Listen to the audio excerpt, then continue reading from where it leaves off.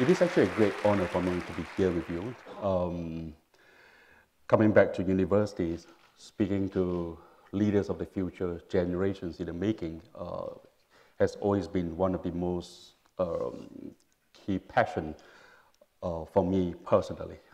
And uh, perhaps today, before, before I, I, move on to the, the proper uh, deliberation or sharings of thoughts, it is just appropriate for me to begin by taking a solemn moment in expressing a note of condolence uh, to the departures of President George Herbert Walker Bush.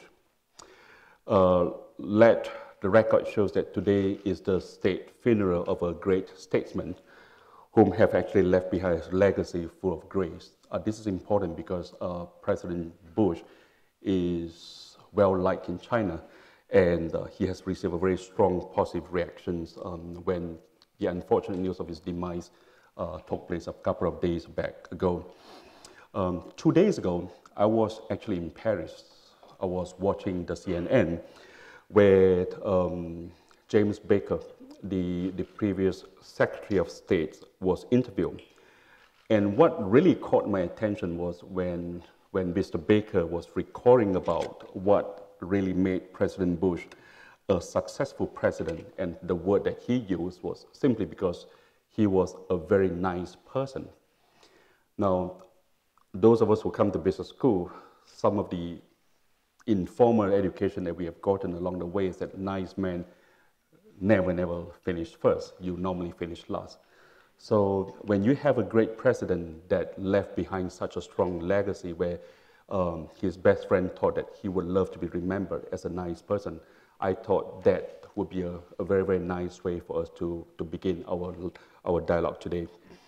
Now, I haven't got the privilege to meet with 41 in person, but personally, uh, I had the opportunity to, to be with 43, whom incidentally um, shared the very, very same birthday with my son, who's sitting there right now. Uh, he, 43 was actually a very, very nice, sincere person in that sense. Now, both 41 and 43, they have played a very, very interesting role in establishing a solid bilateral relationships with, with China during their respective tenures as the leaders of the free world.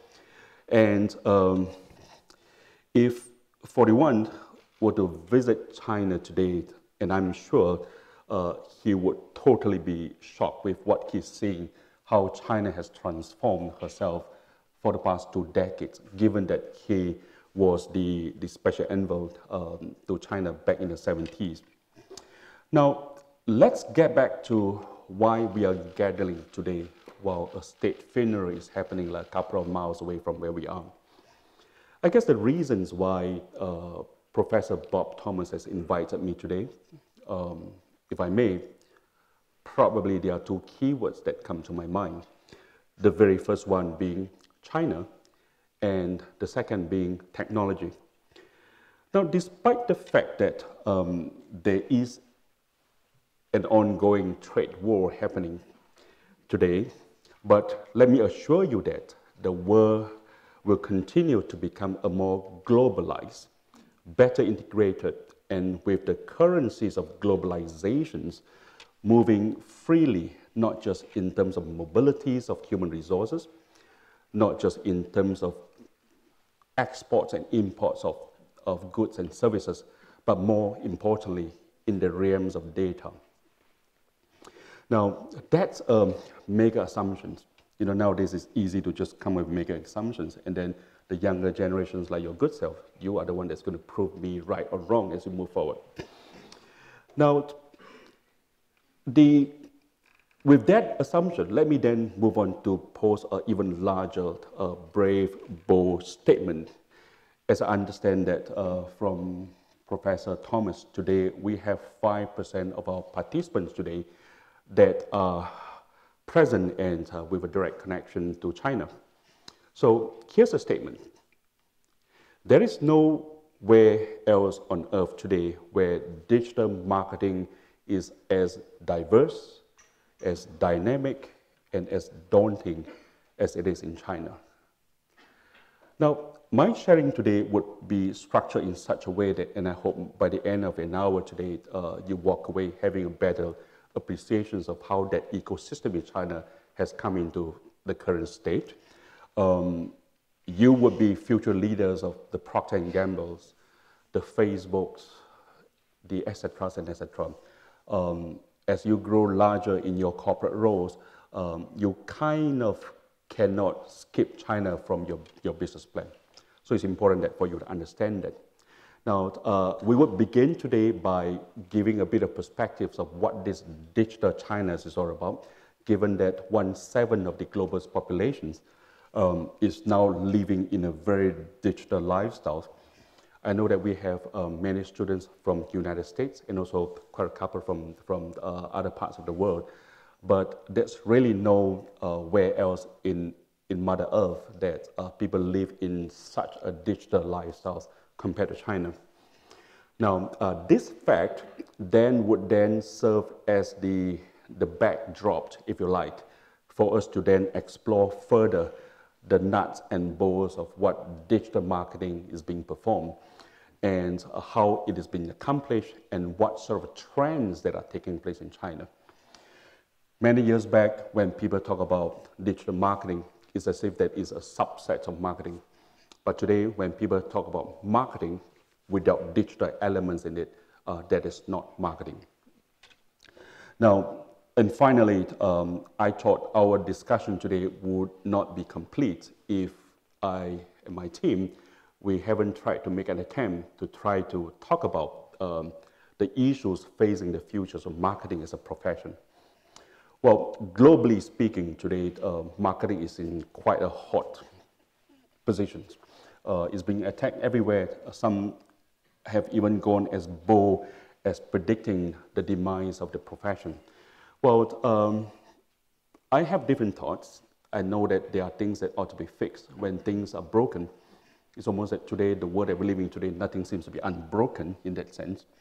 But when things are broken, uh, it takes a lot of effort and, more importantly, uh, zeal and confidence to ensure that um, this thing that has been existed for, for centuries is given the right opportunities and hope to go back to the path, uh, the right destinies of what it ought to be. Uh, marketing does create values.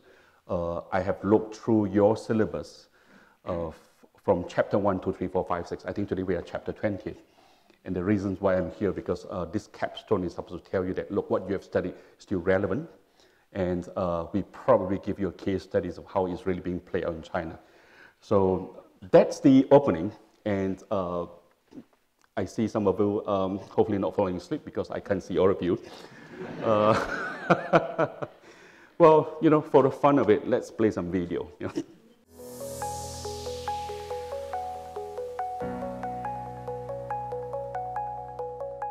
Over the last few years, while traveling the world from country to country, business leaders, entrepreneurs, political leaders, and academics, they often pose the same basic question to me.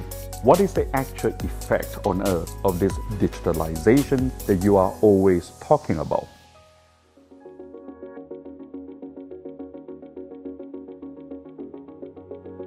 Well, the fact of the matter is simply this that the real values of digital transformation lies in its potential that is still hidden if viewed only from a social economic perspective.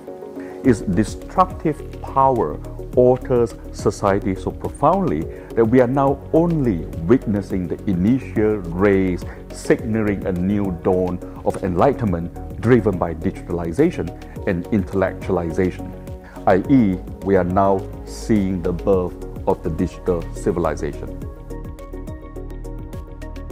A digital civilization is the logical next iteration of humanity's previous civilizational foundations the stone stool civilization, the agricultural civilization, and the industrial civilization.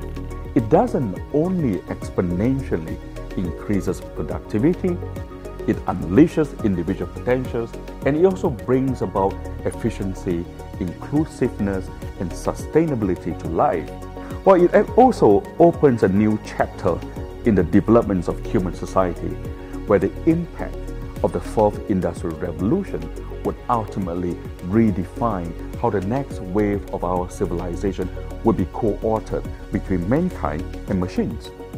As this new civilization spontaneously emerges globally, China has become a best-in-class case study on how digitalization has made a positive impact on practically all of society's social economic layers. China's digital economy has been a key driver of China's economy for the past 20 years. Currently, the digital economy contributes a staggering 32.9% of China's GDP and is growing at the highest rate in the world. Importantly, digital's impact is not industry specific and not solely economic. It touches all aspects of society and enriches our daily lives.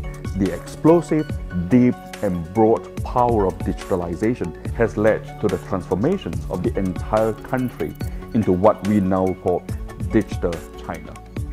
Now, Tencent is very privileged to have been involved in the entire process, which in turn has helped knowledge the rapid growth of Tencent. Today, Tencent is shaping and redefining the digital lives of the Chinese people with products in diverse areas ranging from entertainment and social media to the daily use of mobile payments, transportation, dining, healthcare, and even educational applications. Tencent is, as always, a connector. Tencent the Connector has become an integral part of people's digital lifestyles. WeChat alone now has a monthly active user base of more than a billion people. And hence today, Tencent has become the people's brand. And we are profoundly aware that it is those billion users who have lifted us to such great heights. Call it multitasking, virtual reality. How do you like that? Yeah. So I'm glad you, you heard from my twin brothers that sharing a little bit of the backgrounds of China, and that's it. That's everything about China. We can all go home now. now, um, that this, this really indeed is a key topic every single time when I meet up with head of governments, policymakers for that matter, and of course, uh, fraternity from the academia world. People always talk about uh, uh, China, and in the past, when, when China was becoming part of the, the, the members of WTO, people talk about economics, and prior to that, people talk about politics. But today, the key words in China is literally about digitalization. Now, if I may, if we were to deep dive further, um, there are probably two very important things that we could actually uh, remember. And we should remember about how China became so digitalized throughout their uh, quest of uh, digital evolution. Now, the very, the very key words is called, uh, um, the milestones, if you like, is, is called mobility, mobile. Now, uh, that has actually spawned the world's largest mobile digital ecosystem and um, an entire generations of uh, users are being born. Now, I'm going to give you, let you know a secret. Before I came to this room, I was having nice, good old coffee with Professor Bob Thomas. So Professor Bob was complaining that while you guys are in the classroom, you guys keep watching over your WeChat. this is bad. Bad boy. So I said, hey, when we created it, we didn't expect this to happen. So don't blame it on us. So please, when you do that, at least you say you're not on WeChat. You could say you're on now, ecosystem, ecosystem, uh, uh, infrastructures, and etc. Uh, such things will not really uh, uh, become a culture or take a way of life, if you like, if, if the adoptions of such new technology is not being perceived or received by many.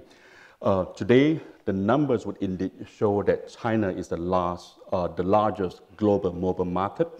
In fact, as of a couple of months back, uh, China has like 788 million um, internet users, and out of which more than 98.5% uh, users actually access the internet via mobile devices.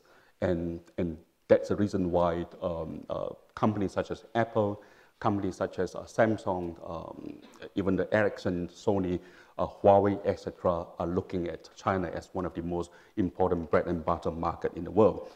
Now, with the infrastructure being built, with utility, with uh, time spent, and in fact, uh, the way people, people develop their lifestyles day to day, uh, being so well anchored on mobility, you kind of uh, see this is not like a causal effect kind of a thingy, but we observe that the emergence of many new industrial constructs, if you like, um, to be honest, nowhere else. For example, all of us are very familiar with the concepts of e-commerce. Uh, if you were to look at the syllabus of, of MBA students today, e-commerce naturally has become a big thing. Compared to a decade ago, e-commerce was just one of the new uh, innovative or incubator ideas that perhaps marketeers ought to try as a new channel to reach out to the consumer. But today, e-commerce seems to be the center of everything that we're doing. Nowhere else is mobile e-commerce so prosperous, so prevalent and influential compared to what we are seeing in China today. And uh, with, with mobilities taking places, the, the emergence of new subsets of new definitions of, of, of, of industry that grew out of the, the existing industry. For example, um, digital video streaming, which has actually taken a new life from what entertainment used to be, right? Mm, when we launched uh, Tencent Video um, back in China just, just, just less than 10 years ago, like seven, eight years ago, we started from zero. And today we have 80 million people that was willingly, habitually contributed um, as a loyal subscription user to Tencent Video. So that kind of entertainment values that we have created for the users, and that has largely to do with what we call mobility. And um, things like bike sharing economies. You know, every single time when I come to Washington, D.C., um, the Four Seasons Hotel has always been my favorite and I remember the first time when I came around, before I, I, I went over to right here, in fact, so I was just walking across the street, and you see um, the availabilities of some bicycles uh, that supposed to be shared socially. Uh, but it's actually very difficult to try to, you know, find your credit cards in the, in the winter, try to punch in here and there. And then seriously, you have to like pay like how much? 200 bucks for, for deposit, etc., etc. No, come to China. You just WeChat it, and then without you realizing it, you are zooming, zooming in Tiananmen Square. Yeah. Honestly, you know what? I write to I write to my office um, when when I'm when I'm in Beijing. Uh, I would just get up from my my uh, hotels or apartments, and I go to the closest um, uh, bicycle, and I just scan the QR code, and then pay it with my WeChat, and then it takes me like 45 minutes to write to my office. Um, two miles? okay. Now, that's not the end of it because uh, some of us here might be more tech savvy than others. You realize that 5G, China will be embracing 5G as sooner as possible compared to many parts of the world. Um, these things about 5G era, which will enable us to expand the horizons of our imaginations. Tell me your imaginations. Tell me what you fancy. We get it for you just like that. Well, for example, some of us here might like to download some videos. Uh, what, uh, what do you call high density videos will probably take you like five minutes to download. Uh, if you stay in a very, very Flintstones era, probably take you three hours to download. But in the eras of 5Gs, all you need to do is just follow me, blink your eyes, let's say for five times, your video is delivered. So those are 5Gs, and that, that's actually happening. So uh, China already a mobile nation and will undoubtedly become even more mobile uh, thanks to the impacts of 5Gs. Um, you can actually probably read faster than I do.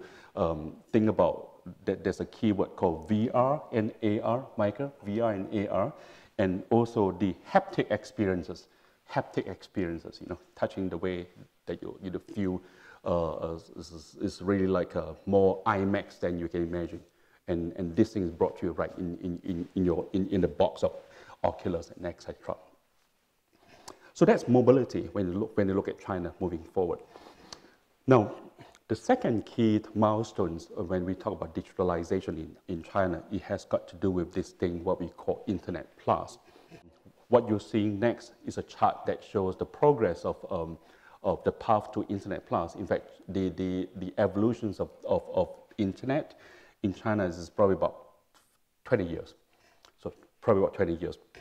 Uh, then in 2015, the Chinese government launched the Internet Plus strategy, which aims to drive further the integrations of the internet with various uh, industries and therefore upgrading the power of the internet into what is essentially a fundamental infrastructure.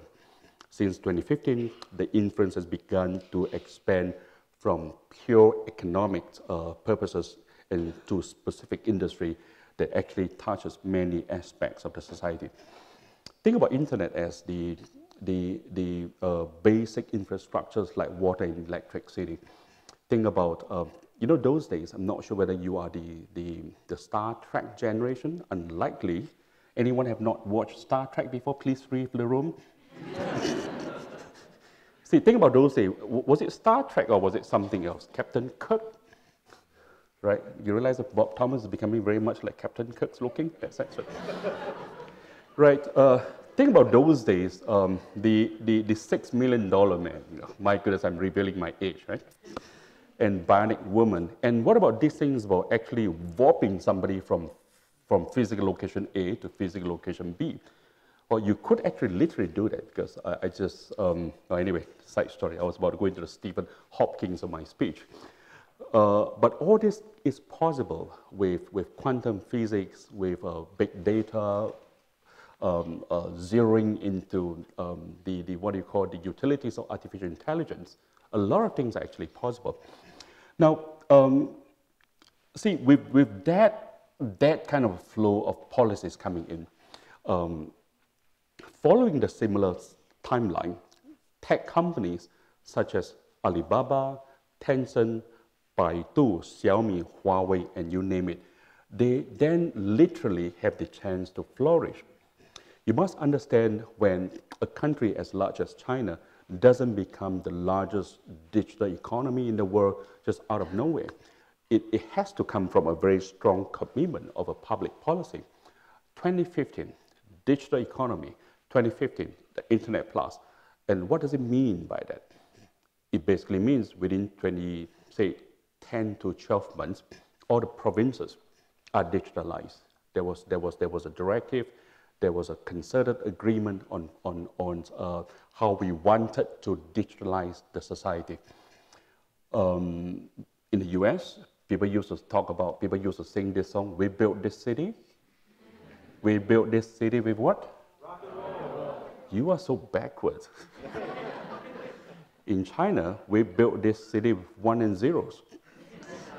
So, so that's how digitally things have become, right?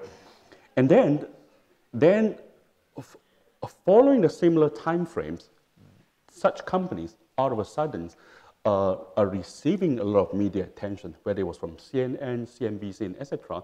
The reason why they've received a lot of attention, largely because they have created a lot of utility and that utility uh, is not just confined with one type of product categories, but is becoming a huge platform strategist that's providing all sorts of things. Tencent, for example, um, that uh, during the first video, my, my virtual reality self explained, um, we started way back in 1998. We are 20 years old today. Uh, we have been uh, we, we are very blessed that we had the opportunity to shape and redefine the digital lives aspects of our online lifestyles of our Chinese uh, people back in China. Uh, that's a result of the deepenings of China's Internet Plus strategy, and that's that immediate uh, gratification of outcome of that is simply these things about uh, uh, what you call a consumerism being upgraded from a pure consumer internet into what we call an industrial uh, internet in China today. This is the main reason why China today is seen as emerging examples of the digital economy in the world. Um, as, as what Professor Thomas has mentioned just now, uh, a year ago today in Washington, D.C., uh, I, I, was given the opportunity to share with the central bankers at uh, IMF not far from here, downtown DC. And um, there were two gentlemen being invited into this big forum uh, where, you know, IMF is, is actually the, the, the, the, clubhouse of all the 180 bankers, central bankers uh, around the world. This guy's main role is to try and figure out how GDP is computed and then trying to figure out standards of finance, uh, economics policies, and etc. And in that forum, IMF was keen to study how did China arrive at a digital economy status. So I was invited as one of the two key speakers. And my role was to explain to the auditorium, to people, how we came about with, with, with digital economy. And the, the, second speaker was a gentleman from the UK, where he spoke about uh, cryptocurrencies, blockchains, and etc. Now, if you were to look at this chart, um, it says the digital economy in China is an upgrade due to industrial internet. A lot of people would probably naturally understand, well, maybe a bit of background. Um, when we look at digital components of the GDP, uh, it is further being divided into two very distinct but interrelated components. The first is what we call the ICT portion. ICT meaning information, communications, and technology. And the second is the newly created components, uh, what we call the integrated component. Now, what is amazing from these charts is that more than 77% of the total digital economy has been contributed by the integrated category rather than the conventional ICT uh, portion that all of us are familiar with. And if, if, if I were to use, if I were to find a single word that could actually describe the essence of this chart, I would say empowerment. I would say empowerment.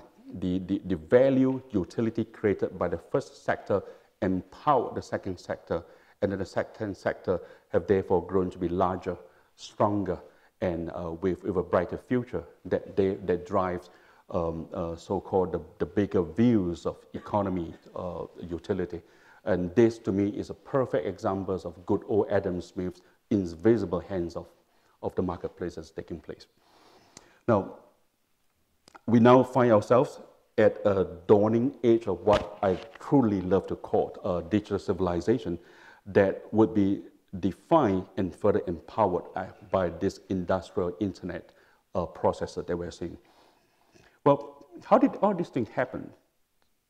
Largely because in China, we have established a very solid framework comprises of cloud computing, uh, payments, artificial intelligence, and digital security, digital technology that in turns will turn industry into something akin to a mega web uh, infrastructure. Industry can then um, engage more in the revampings of basic infrastructures and consequently promoting the country's further transformation into digital China. Now, um, the background of digitalization, the relevance to marketing. In marketing, we have been tracking, and for some time now, in fact, about 10 years, the emergence of digital civilization. Um, that phenomenon has actually led to the changes in users' behavior um, in the industrial environment and the, the society as a whole. Now, as, as a passionate veterans of um, marketing, I, I have been both a pioneers with my teams. We have a lot of people that believe in the pathways of marketing back in China, in Tencent. And we have also been a blessed witness to the digital transformation and marketing changes in China. Now, over the past 10 years, internet companies such as Tencent we, we had to write our own playbook. I remember when I was in Orlando uh, exactly a month ago when I was participating as a board member of the Global CMO uh, Growth Council. So we had like 2,500 CMOs from the United States all sitting in, in Orlando, all looking for playbooks, playbook of digitalizations, playbooks of artificially intelligent-based marketing, playbooks of this and playbooks of that. But in China, you don't have a lot of playbooks because when you're literally sitting in that, in that uh, aeroplane that uh, you have to fly and Mach 3 and at the same time considering changing engine at the same time.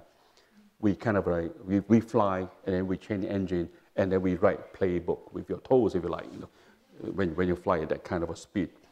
So that, I, I guess that's how original knowledge is, is being created, curated, created and curated at the same time. Because what you created, when you then curate it together, and then you could actually perhaps sometimes you, you, you throw your original hypothesis out of window. That plane doesn't have a window. so what I meant was for the past 10, 15, 10 years to be exact, we, we launched um, the Tencent Mind guiding principles in China in the space of marketing. Tencent Mind, M-I-N-D, uh, 10 years ago, think about China as a wild, wild west. So everybody knew that, oh, goodness me, we must have a digital components in our marketing.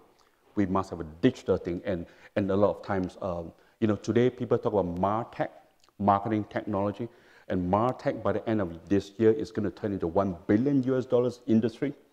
Because marketers in the US, marketers around the world are spending so much of their marketing budget into technological related tools and toolkits. 10 years ago, no, we didn't have MarTech. So people in the wild, wild west of China was, were, were, were subsecting, were, were actually uh, allocating their marketing budgets into, into digital. So nobody knew what to do. Tencent, with uh, professors from the US, I remember that time, um, I haven't met Professor Bob Thomas. Instead, we, we invited Philip Kotler. We invited um, uh, a few others, uh, key prominent uh, advocates of digital marketing in the marketplace. And then we sat together. We try to figure out how, how do we help marketers to allocate scientifically um, the, strat the strategic components of their marketing strategies to digital.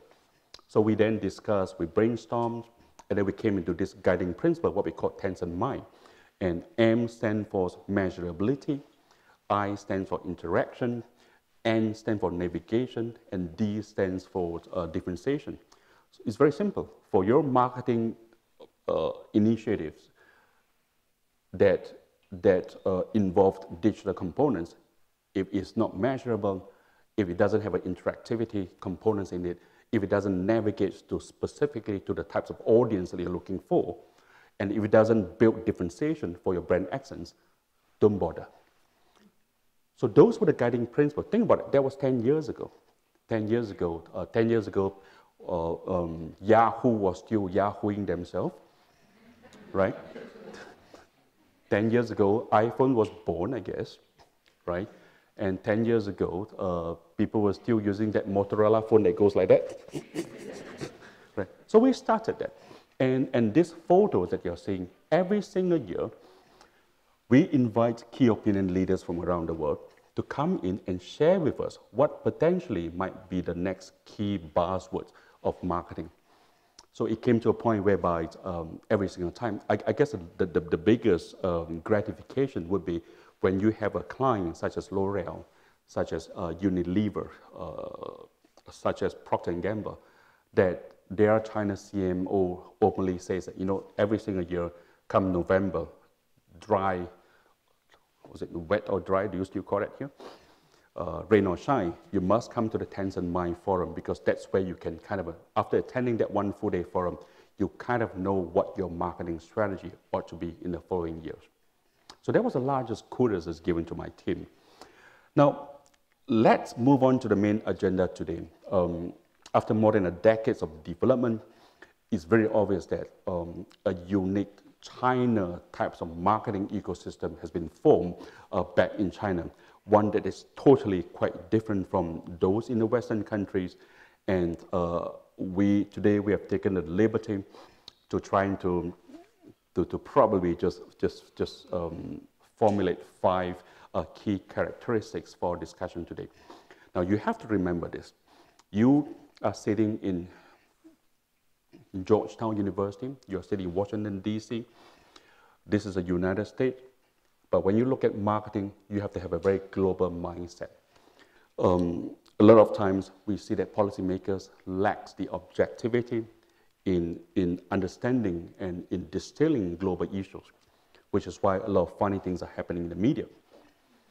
And uh, the good things that today we are mourning, so you probably don't see a lot of tweetings, right? Now, why this is important? Because if you aspire to be a global marketeer, you must have that sense of objectivities. That objectivities have to transcend nationality, have to transcend beliefs, value system, etc. You serve the hidden, the latent needs of that particular audience in a specific countries. So this is what we have seen in China and we love to share with you. Now, first of all, the, the first characteristics of a China market um, marketing ecosystem, what we called um, a tech-driven value innovation. Notice word MarTech, marketing technology. There aren't many books have been written about it, uh, but, but uh, a lot of books are not written well enough because uh, sometimes authors don't have the, the, the luxuries of being in the industry to attain um, front-end experience. But understand that the ultimate values marketing really got to do with championing the developments of latent needs of consumers or society at large. Now, in the digitalized landscapes of China, innovation is increasingly driven by a cloud-based technology. Now that core user value created by internet that I mentioned, internet plus, and the industrial internet comes from the innovations that it drives in current industrial and commercial models. And what do we mean by that? You see, Internet Plus is not just simply about infrastructure and technology upgrades, but it integrates with digitally driven markets and consumer operations. What is the largest currency of today? It's got nothing to do with oil, you know that. Data is the most important currency of today. Now, um, marketing, if marketing were to rely on the old schools of actually doing research and, and development, you're not using the cloud-based computing to the fullest advantage. Now, in order to truly unleash the potentials of a digital era value innovation, an increasing numbers of Chinese companies have undertaken infrastructural upgrades. And what we see in this chart, that uh, for the past two years, Chinese companies have wholeheartedly embraced the cloud. And um, obviously, internet companies account for the larger growth in the cloud uh, usage and era. However, what surprises me was that the traditional industry and even government agencies have also accelerated the steps to follow suit. And the, the fastest growth of a cloud computing consumption in, in 2017 is actually public sector uh, by traditional um, industries.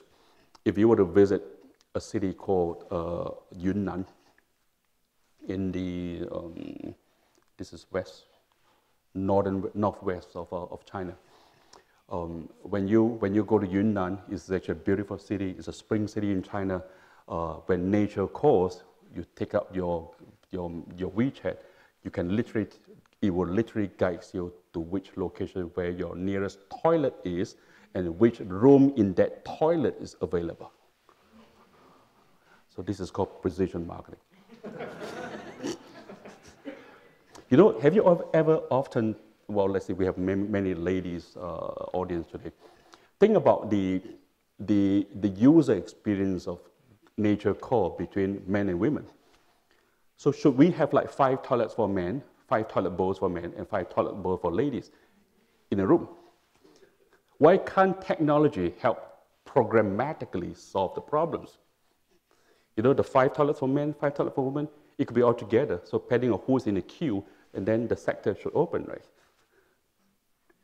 See, I just given you a good startup idea. Work on it. now, the second uh, defining characteristics of digital marketing in China um, is what we call an always-on consumption culture. Well, in the not too distant past, e-commerce was only described as an online behavior, and or a, like I say, a new sales channel, if you like. But today, more than just a consumer behavior, e-commerce in China has indeed become a lifestyle choice that is deeply rooted in people's daily social activities, and entertainment uh, selections. I know that we have just gone through the Black Friday. I don't understand why such a happy thing is called Black Friday, but so be it. Yeah. Um, Black Friday, Macy's, and all that. Uh, um, a lot of time people think that this, these are some of the so-called seasonal promotional techniques taught by manufacturers or retailers to make sure that the offtakes are being taken care of from, from their retail stores. But in China, shopping is just not about parting with your money. Shopping is a social activity, and that's the beauty of that, and it's only happening in China. Now, for the Chinese market, especially for the young consumers like most of you, only Bob and myself could just stay away and say most of you, right? Um, that always on consumption culture has taken shape um, in the last decade. And of course, when you talk about you needed something to be always on, um, you must require something that's always available. Uh, otherwise, that cannot be always on. Now, enabling this culture, that's where WeChat came in. WeChat mini programs uh, actually help to bridge the last mile gap in e-commerce. Um, before we talk about mini program, perhaps a, a quick introduction of WeChat. Um, how many of us here don't use WeChat? The door is right there. Thank you very much. Now, uh, WeChat today, or Weixin as we call it in Chinese, um, China's instant messaging and a social platform, da da da da da, numbers and all that. Um, see, the beauty of that set, what started off as a, a, a, potential product, a single app that hopes to connect people on a basic communication purposes. When communication um, is, is being enlarged larger, it has a social element in it. And when this thing is being enlarged further, it becomes a platform, and then you start throwing in ideas such as entertainment, utility, public services, and etc. And then it becomes the largest platform even today for original content. Now, original content for you, uh, for folks in Georgetown, you know that that's, that's actually very important in terms of marketing. Uh, WeChat, as of the second quarters of uh, 2018, more than 20 million official WeChat accounts uh, have been created by individuals and organizations uh, that then make WeChat the most popular apps amongst the, the China's, um, whether it was uh, professionally developed content or, or uh, user-generated content, uh, if you like. Now, specifically, this thing called mini programs are infrastructure which is embedded within WeChat. And mini programs allow individuals or organizations uh, to establish an apps within an apps and allowing a faster and easy access uh, to services or commodities. We know that today marketing is not just about uh, product development, marketing is not just about brand building, but marketing, more importantly, is about making sure that you keep a long-lasting, trusting relationship with your, your current labs and potential users. So mini programs play a huge role, technically speaking, in that sense. Well, it doesn't sound very, very unique and special, isn't it? It is. the advantage of mini programs for marketing lies in the ability to really integrate brands into the user's life. I think for those of us who are still fanatics about marketing, you know, marketing um, sometimes they, they, they kind of um, differentiate marketing and sales, sales and marketing, because probably because when you talk about the connotation sales, sales always have the idea of trying to push something to people. But marketing is about meeting your needs. That's what I love about the definition of marketing. We care about your welfare. We only provide products and services that meet your needs, and we shall not push some ideas that are totally irrelevant to your current uh, life cycles of your lifestyle. Now, let, us give you uh, a few examples of with regards to mini programs. For example, uh, mini programs construct a closed loop between the mushrooming growth of, of social networks and sales conversion. In China, there's this, this Groupon-like uh, e-commerce mini program called Pinduoduo uh, that actually achieved a great, tremendous growth and huge fame. How tremendous? What about 300 million daily active users? You know, the entire United States became a huge fan of Pinduoduo. Uh, uh, and then that IPO totaling, what about 30 billion US dollars in just three years? Think about the, the, the power of social uh, mobility and social marketing. And as people share these mini programs in their WeChat groups in a daily basis. What about mini programs that actually have directly contributed to the transformation of between content and business values? Millions of China's internet big Vs, we call it big Vs with a capital V, which is actually VIPs. These are actually the, the social uh, uh, opinions influencers, if you like, um, social uh, influential microbloggers. They started to build their very own brand effect in mini programs and among their so-called WeChat fans uh, and having achieved a huge success uh, that you can see from this case and etc. Time is an accent. Um, I would encourage that you, you, you search out for, for such things because um, this thing might not be happening in the US or any parts of outside China, but it will be something, one of the things that is, is, is worth learning about. Well, unlike a lot of uh, well-known brands, um, the it, it is actually, you know, guys like Procter & Gamble and Unilever, their marketing challenges is very different because they have like 190 years behind them. Procter & Gamble is like that, close to 200 years behind them. But what if you are new, up and coming? How do you ensure that uh, you find the most efficient and effective way to reach out to your potential audience?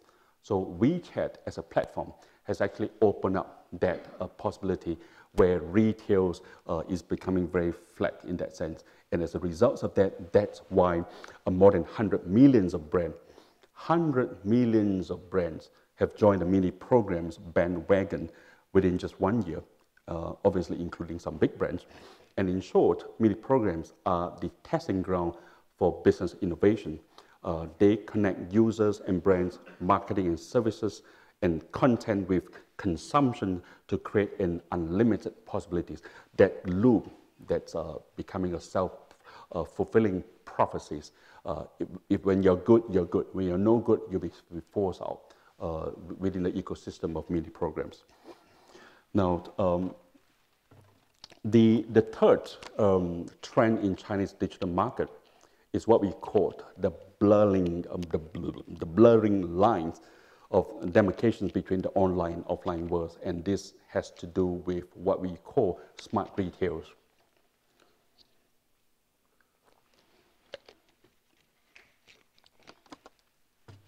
This um, brand new retail model, it is a driving force behind the growth of China's retail industry in defiance to an overall retail swoon that's happening globally today. Please note that when I talk about retail, when I talk about smart retail, I'm not simply just talking about combinations of the factors that drove the integrations of online and, and, and offline traffic together. Rather, it is a very comprehensive uh, retail management system which integrates online and offline services, which is driven by data. Uh, if I think, I hope and I believe that Georgetown does um, make available um, data analysis as one of the key uh, core curriculums if you wanted to be a good businessman or, or marketers. If you're not familiar with data analytics, uh, you would really be lost in the world that you're about to step in. Now, um, Tencent's a social platform. We have things like um, payment platforms, media platform, uh, and also innovating products that's, that's cloud-based and artificial intelligence capability driven. Many traditional big box stores um, have actually made the transition, such as the, the big names like the French retail giants uh, Carrefour, a local retail giant called Yonghui Superstores, or even the Swiss, the, the Swiss companies called IKEA. These are the pioneers in China that they have actually uh, embarked on a new territories of smart retail. And um, they are big, but they are willing to be nimble and trying out new um, incubator ideas of Industrial Revolution 4.0, if you like, and, and as these whole things are taking shape. You know, one of the one of the qualities of a good marketer in the future, you almost really have to be such a good. You know, why I, I started by my, my presentation today by playing a, uh, paying a tribute to President George Bush, being a nice guy. Marketers have to be nice guys. Marketers have to be nice guys because you almost needed the help from everyone in the industry, especially your competitors to make the pie larger, to work together for innovation, to create, to discover more latent needs of the users. You know, sometimes these things about winning a competition, you know, at times certain culture, uh, we, we, we coach our children to be very competitive. When you go to a soccer game, when you go to what you call football, when you go to this and that, you always play to win. But I guess one of the great politicians in the past was talking about you do not win by losing. In the world that you're about to step in, it's more important to play to win together. So being nice will be one way to do that. Now, um, the guys like Carrefour, for that matter, they're like dominating the entire retail stores. But then they have to realize that they needed to work with platform companies like Tencent, like Alibaba. They have to work with millions of their users to literally, humbly listening to their needs real time, real time, in order for them not to be disrupted. Even they can be that big, you know, because one, one, of, the, one of the great words of wisdom from my founder, Pony Ma, was giants, great giants do die. The difference is when they fall, you can still feel the temperature of the body. It is like just one shot, they fall. I hate to name names, look at some of the great names that we are familiar of the last century. Great companies can just fall just like that, right? If you're not being nice, you're not working closely with your competitors. Now, the examples of Carrefour is worth examining because uh, through our partnerships with Carrefour, um, they have actually they achieve tremendous results in just under a month. Carrefour signed up 2.5 million new members to their loyalty programs with a member conversion rate of 90%. Tell me which marketing programs would actually bring you 2.5 millions just under 30 days and, and with a hit on rates of 90%. Now, what about the, okay, we, I think we have skipped that chart. There's, there, there are other, other things that's actually happening with similar stories with Carrefour as well, in the interest of time. Now, let me move on to the fourth trend in China, which is what we call a societal and sustainable marketing.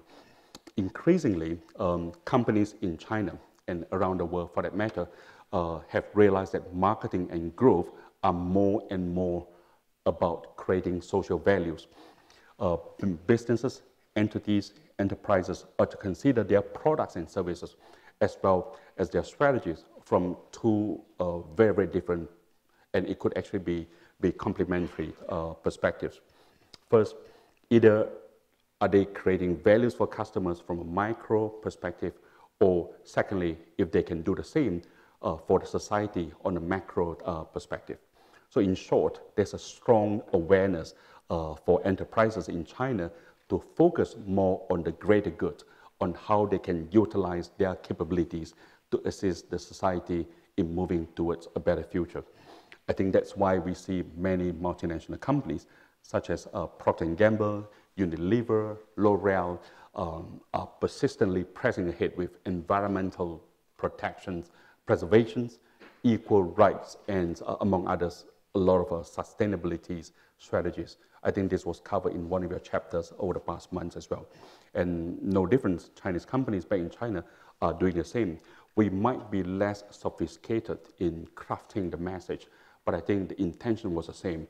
Um, what we have been thinking about is how do we go beyond traditional means of fulfilling our responsibilities and instead make use of our most essential strength, uh, focus, and to make social responsibility an integral part of our corporate development.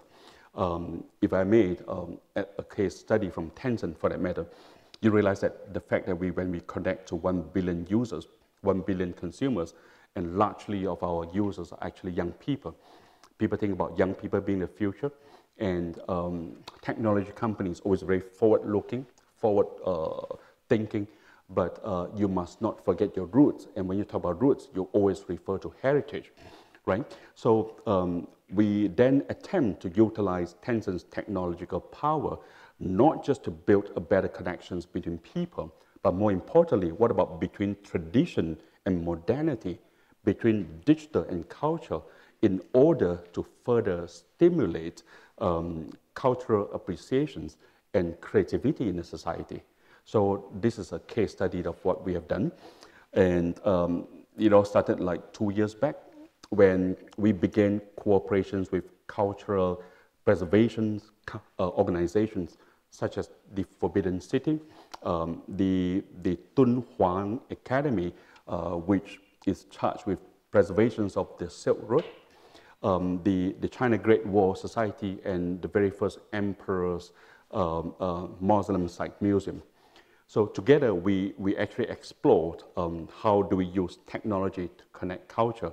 And the result has been a digital cultural preservation, uh, preservation solution that even captured the attentions of uh, worldwide um, museums. The, the Great Britain Museum wanted to speak to us. The Louvre wanted to speak to us to see whether we could actually use the similar technology to help them to, to, to create awareness among the younger segment of the society. Now let's watch this video while I have a drink. Two millennia ago, a pearl, glistening with art and culture, emerged along the Silk Road. The Dunhuang Mogao Grottos.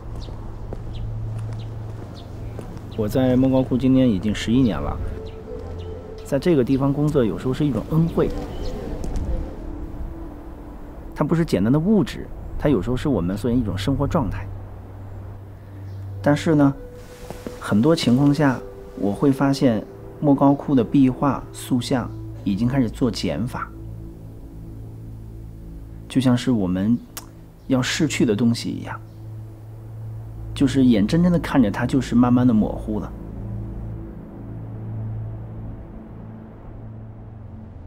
The passage of time is cruel, but beginning in the 1940s, there was a group of people who were devoted to preserving the beauty of Dunhuang through copying painting. 我来这个敦煌研究院工作，呃，十五年。临摹工作就是说是一个呃漫长又复杂的一个过程。呃，例如我们现在要临摹的这个幺七二洞窟，这个洞窟我们大概需要十五到十八个人，花费五年的时间。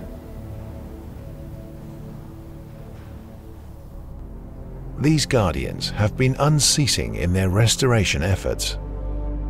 那文物修复，嗯，是一个良心活儿，好多人肯定也看不见。就是以前古人所用的材料，当我们走了很长的路，发现了我们所需要的灯板土，感觉在路上所受的苦、所受的累，这一切都值了。The struggles of these restorers never ended. 嗯，保护修复就是跟大自然赛跑，跟人赛跑，跟时间赛跑，并且你能感受到。化工所给予你的温度，在那个瞬间连接起来。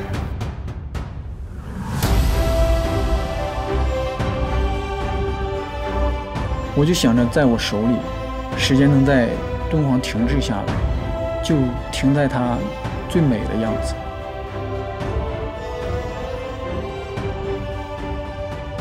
2017.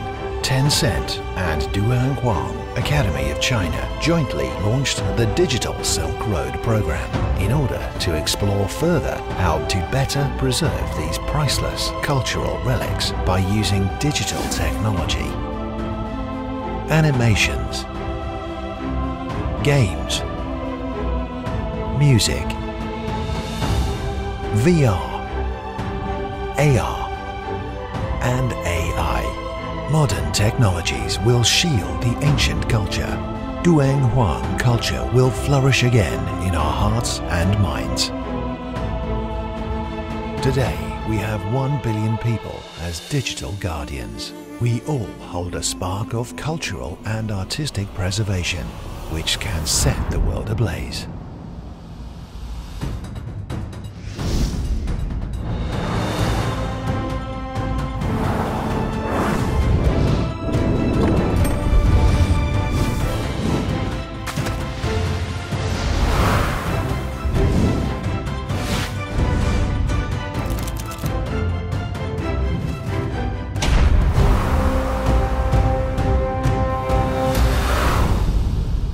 This is a never-ending battle and it's an all-out effort for us. Will you be joining us?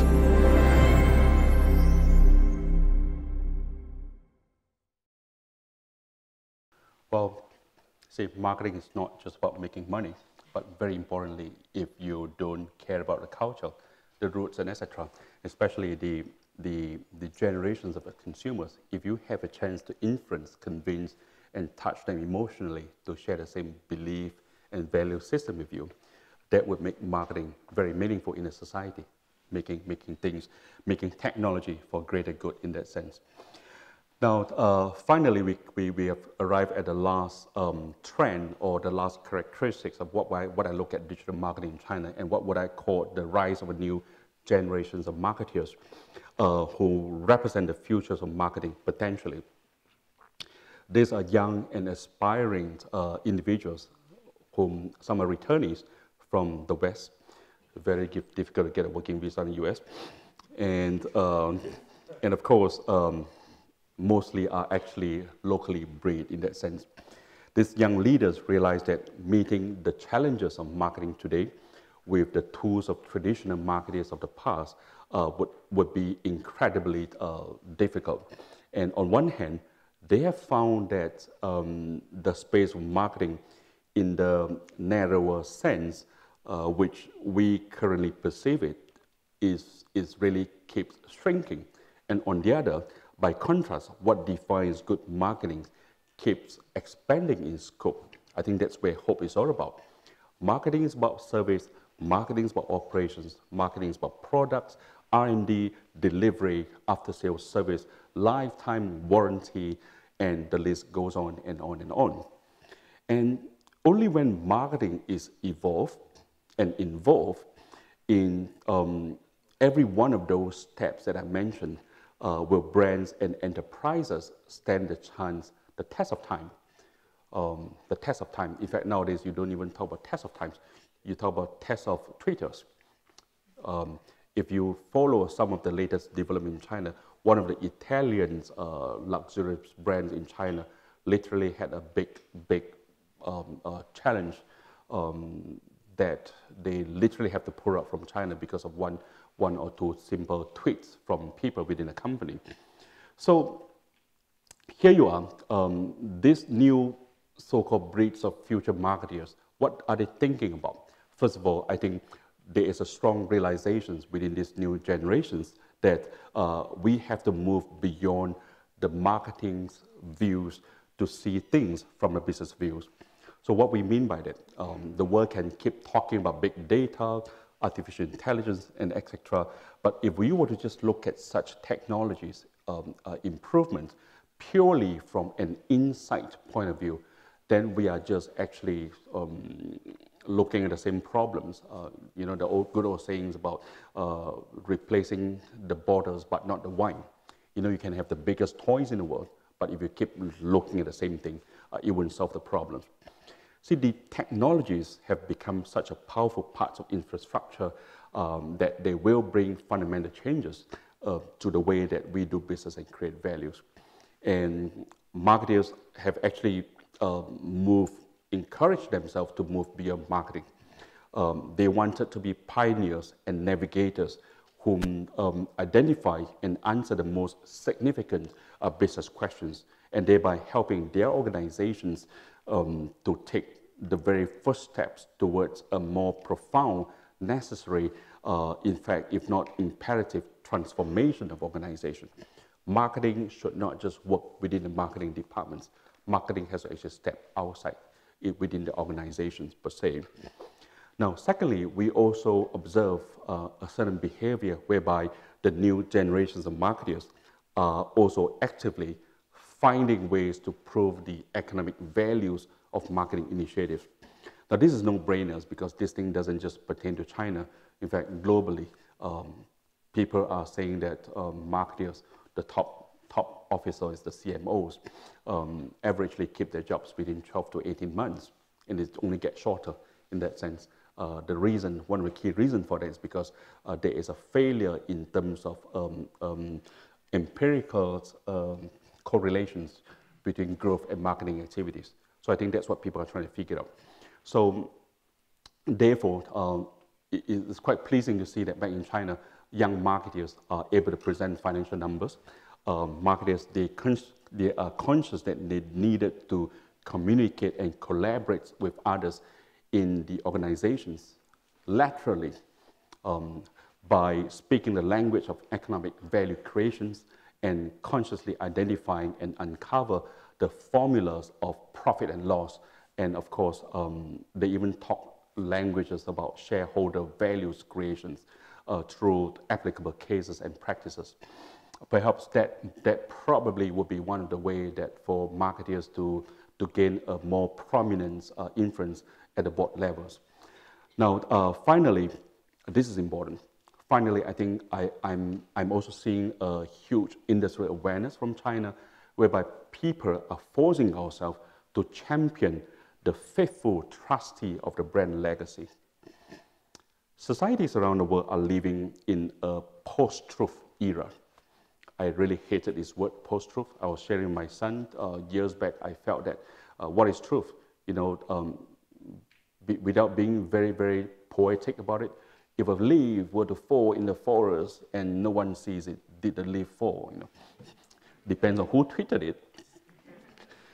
Well, the, the greatest danger that we face today is the devolutions of moral values into something relativistic.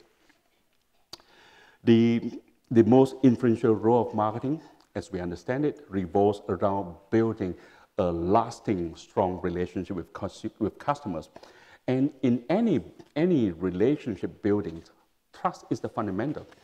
And um, in a highly digitalized consumer ecosystem, building trust is really, really challenging. I was, I was like, you know, you guys do, do your WeChatting. Well, well, Professor Bob Thomas is talking. So I was looking at my books when I was talking up there. And I saw this magazine. It says that leadership is about building bonds of trust, called Colin Powell's. We are living in a world whereby trust is becoming a, a highly deficit asset. And you cannot do marketing if you don't aspire to be the trustee of the brand that you are, you are looking after. Trustee of the brand, not just a brand builder of the brand. Now, brands, therefore, moving forward today in China, we try to take the road less traveled. We are eschewing the easy path and we embrace higher standards of moral obligations by acting as the faithful trustees of consumer welfare. Um, don't simply see yourself merely as a great communicator, a great uh, um, you know, content provider, or, or custodians of the brand, that, um, but you really have to strive for that legacy of a brand, uh, brand trustee. Not every company can do that. If you, in the future, work in a company that don't even come close to believing in becoming the, cust, the so-called the, the, the brand legacy custodian of the brand, leave and find another job. Look for a company that believes in that because if you don't, very soon um, the mistakes of that management is going to be crafted in your tomb grave. You're going to pay for it. Now, uh, in closing, I suppose, so I guess after this, you'll be going back happily preparing for exams. Do we still have exams? No? My goodness. Well, now let, us take a very quick moment to review the five characteristics of um, digital marketing landscape in China today. Uh, we spoke about technology-driven value innovations. We articulated about what uh, a always-on uh, consumption um, culture uh, was, was being empowered by always available uh, uh, platforms such as social platforms such as WeChat. And then uh, we also introduced the concepts of the integrated world of smart retail. Remember, um, you know, the word is about smart this, smart that, smart city, smart cars, and smart A, da da da da da. Uh, but when we talk about smart, smart um, uh, retail, we are not simply just talking about the integration between online and offline. Uh, you really have to visit China uh, to buy something from Carrefour, to buy something from roadside um, the, the ease of it is not just about transaction via a mobile phone, but the ease of it is the data that's trans transmitting, a data that was actually playing uh, the spiritual role in making sure that the current needs and potential future needs of the consumer is going to be fulfilled. And um, I also spoke about, highly spoke about the societal and sustainable marketing um, uh, um, so-called initiative that I'm glad, I'm very glad to see that's happening back in China.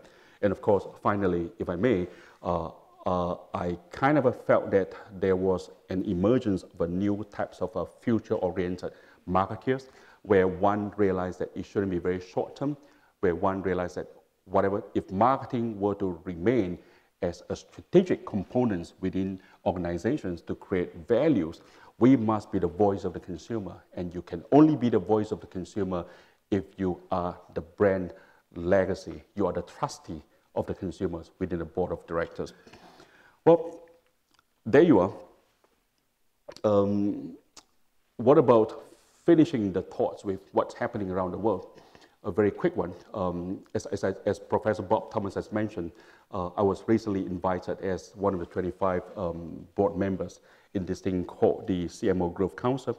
Uh, the idea was announced in April this year. We met in Cannes for once, and within uh, six, uh, seven, five or six months, actually, we, we provided a common platform uh, for marketing leaders around the world to discuss, to elaborate, debate, and take necessary actions in support of the industry.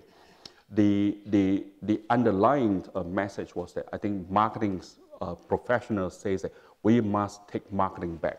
We must make sure that marketing remains as relevant, as strategically uh, uh, uh, uh significant in, in the role of organizations in the society. And uh, as you are about to move into the real world, um, you realize that this, this thing is actually eroding. Um, look at the books of marketing being written, and I, I would really encourage you to participate in curating new knowledge as your, your as your experience uh, gather along the way. Now, uh, as I mentioned, after six months of our deliberations, 25 of us, we managed to really cultivate, galvanize a lot of participations from other folks, other CMOs in the world. Um, we had our very first Global CMO Growth Summit in October in Orlando, uh, where five pressing areas were put forward uh, to be deliberated again by 2,500 delegates from the US. Such areas, the initiatives such as the societal and sustainable marketing, uh, customer centricity, uh, brand experience and innovation, data and technology, and talent developments and organization. So this chart is actually very, very valuable. So this is the, the, the so-called the brainchild of all the hundreds of years of experiences from marketeers around the world. And to, to kind of say that perhaps this is the, the, what do you call it, the playbook. If marketeers, if marketing as a profession were to rejuvenate ourselves, so these are the five key pillars that all of us, future leaders such as yourself, we have to work together uh, to make it better. Let me end the session with one video and we'll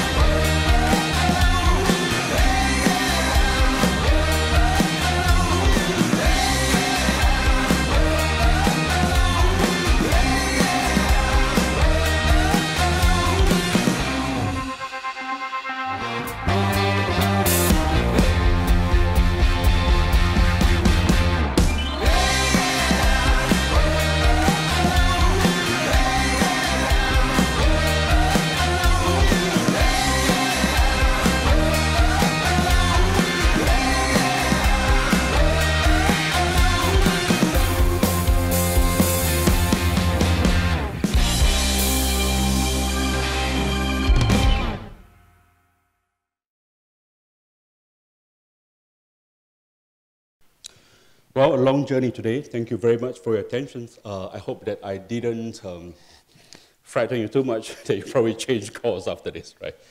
Well, uh, I would like to invite uh, Professor Bob Thomas, and perhaps together we might love to have some questions from you. Okay. Thank you.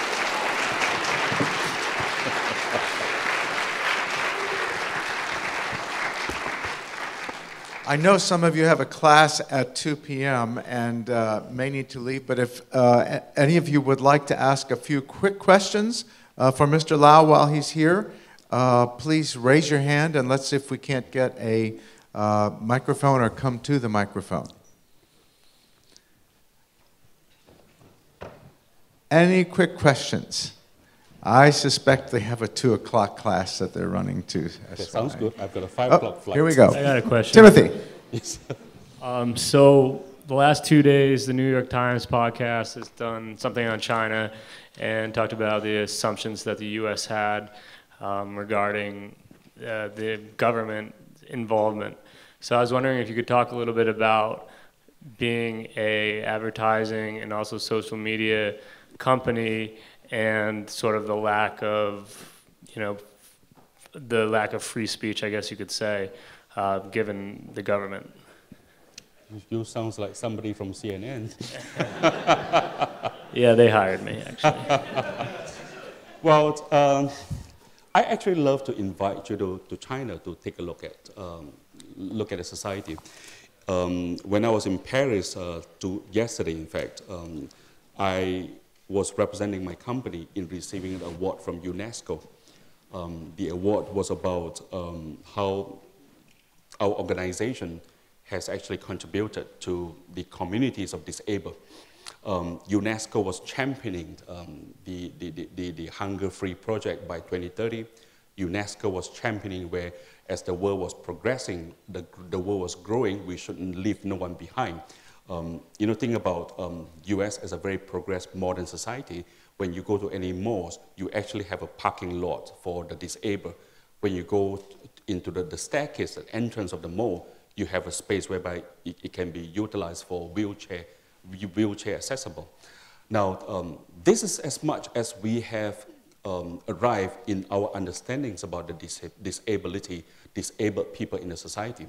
Think about Stephen Hawking, the, the, the, the, the largest, the greatest uh, uh, so-called examples of a disabled person with such huge knowledge that was captured within his brain had it not because of technology, had it not because of some company that actually helped him uh, uh, uh, explain what he has in his mind. Now, that price, United Nations defines disabilities in, in, in a thousand ways.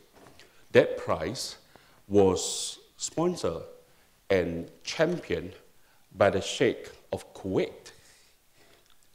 The Sheikh of Kuwait. I think all of us, the, the reason why I flew to United Nations to receive that award, it wasn't because receiving an award was a fun thing. The reason why I flew to United Nations, it was because I felt that uh, I needed to learn what the world was doing together, what the, the world was co collaborating together in making use of technology for greater good. And the reason why I flew into the U to, to, to Paris stayed one night, received the award, gave a speech, shared with them what we have done in China to the world, and then flew here and to share with you what we have done in China for, for marketing. And after this, I'm flying off to Edinburgh to spend a weekend with my daughter. The reason for that is simply because I think the world needs to get together for, to understand all of us together much better. Think about Middle East. Think about what happened after 9-11. And think about what the Sheikh has done, the Sheikh of Kuwait, his Majesty was there when I received the award. When I look at the, the, the, the, the hundreds of children that was being displayed by UNESCO, people that came like that and trying to sing a song together, when I, when I look at what the initiatives were done in Hong Kong, in Singapore, in Dubai, in Pakistan, in Bangladesh, you know, when I went up to, this, to, the, to the podium, I was supposed to, to deliver a speech, a well-written speech by my, my, my, my team with with the sheikh, so-called His Majesty was there. I didn't follow my script. Immediately I said, you know what? No countries in the world, no companies in the world shall proclaim greatness of their past, shall proclaim greatness visionary about our future, unless and until they know how little they have done for the disabled.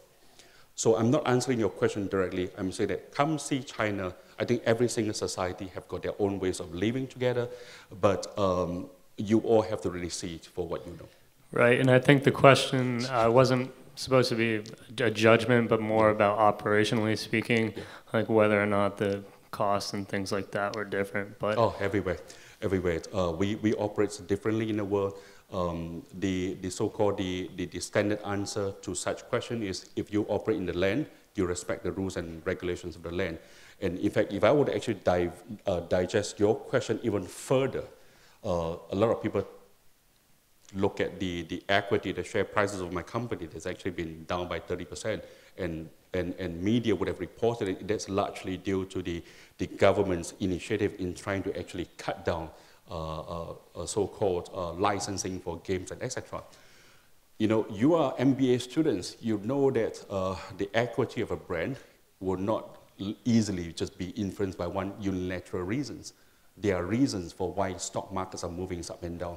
Um, this is very unfortunate. Facebook is equally, we are equally in a sense, but uh, the, the, my, my, my official and my personal stake is that I've got a lot of stakes in my company equity, and I think we are very hopeful that you will actually return to where you would be. Yeah. Cool. Thank you. Thank you. Other questions? Any other questions for Mr. Lau while he's here? Hi, Mr. Lau. Thank you for coming to Georgetown University and uh, giving us such a great lecture. And I want to say it in Mandarin. 感谢您来到啊乔治城大学。uh, I'm the one actually who told Professor uh, Thomas that I opened the WeChat 80 times per day. Oh, and bad. spend, yeah, and checking the moments of my friends. And I want to say, like, I have, I have two questions of WeChat because I think WeChat is the combination of uh, like uh, Instagram, Facebook, mm -hmm. and even Venmo, PayPal, everything. So, uh, does Tencent try to uh, launch WeChat to the global scale? Like to promote, push it to mm -hmm. the more foreigners mm -hmm. like this? Um, very, very um, good question, and often the similar question being asked by the BBC and CNN of the world. Um, we the, the older days of, of, of, of so-called internationalizations, when, when, when the companies of, if you're a car manufacturers, if you are a, a, packaged goods consumers in that sense, if you, if you sell soda, if you sell uh, potato chips, um, you, you normally think about internationalization. I, I guess um, the, the key business decision from that is, is scalability.